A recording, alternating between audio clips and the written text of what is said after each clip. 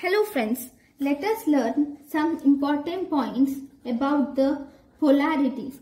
Actually some one-liners.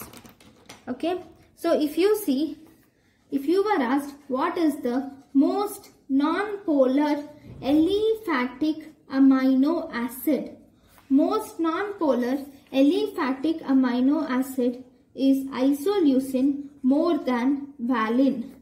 Then if you were asked what is the least non-polar aliphatic amino acid, it is glycine. Then if you were asked what is the most basic amino acid, most basic amino acid is arginine more than lysine more than histidine. Then so this is about the one-liners that we have to learn. Then we have some one more one-liner about OH containing amino acids. This OH containing amino acids, we have three one-liners. These are the amino acid with maximum tendency to bind to phosphate.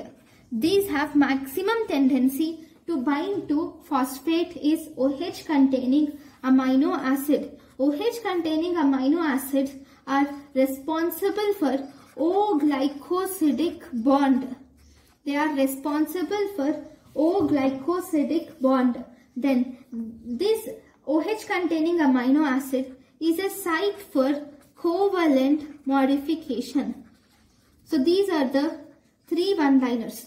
OH containing amino acids are the amino acids with maximum tendency to bind to phosphate.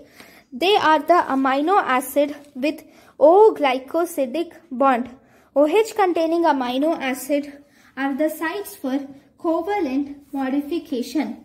One last, I said what is responsible for O-glycosidic bond. Then which amino acid is responsible for N-glycosidic bond? Arginine. Sorry, aspargine. Aspargine is responsible for N-glycosidic bond. This is about some one-liners. Thank you guys for watching my lecture. Thank you.